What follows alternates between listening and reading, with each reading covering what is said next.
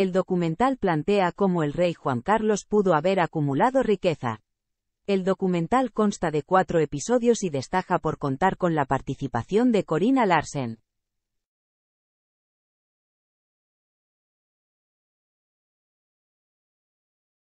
Tras ser censurada por el Reino Unido, finalmente se estrenó Juan Carlos, La caída del rey.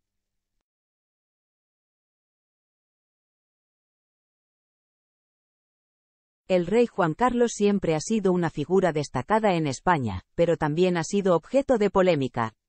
En los últimos años, se han realizado reportajes, programas especiales y documentales sobre el padre del rey Felipe en España, se abarcó desde su papel como monarca hasta los escándalos amorosos y financieros que han salido a la luz.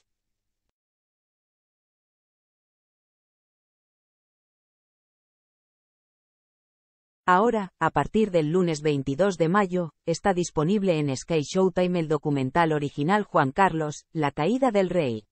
Este documental exclusivo consta de cuatro episodios sobre el rey emérito, que se lanzarán semanalmente, y destaca por contar con la participación directa de Corina Larsen, la empresaria alemana conocida en España como una amiga especial del rey Juan Carlos.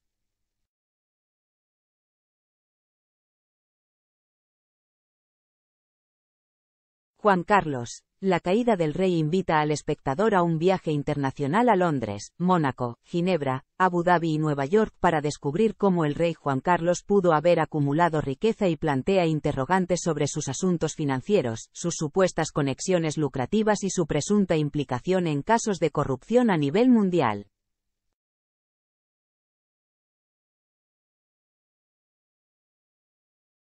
Durante muchos años, Juan Carlos I fue considerado un héroe, celebrado en todo el mundo por liderar la transformación de España con valores modernos, progresistas y democráticos. Guió al país desde la dictadura franquista hacia una monarquía parlamentaria.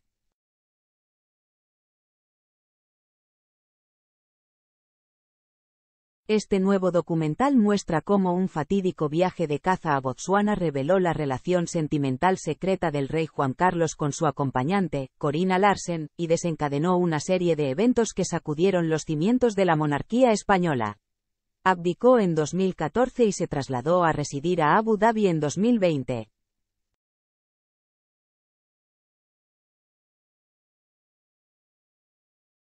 El castillo de naipes comenzó a derrumbarse cuando surgieron preguntas sobre los asuntos financieros del rey Juan Carlos, sus supuestos vínculos lucrativos con la élite española y la presunta corrupción a nivel mundial, incluso un pago de 65 millones de euros.